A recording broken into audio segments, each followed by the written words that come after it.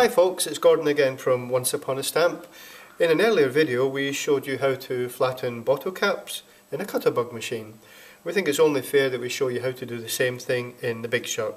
So here we have the Big Shot machine, multi-purpose platform with all tabs closed and we have six bottle caps with the sharp edge facing upwards. On top of that we place the No Shims embossing mat and we will now close up with the top plate which is a cutting mat for the big shot. We now gently run the whole sandwich through the machine, just line it up and off we go. Just take your time and as we're going through the bottle caps are being flattened without any harm being done to the No More Shims embossing mat.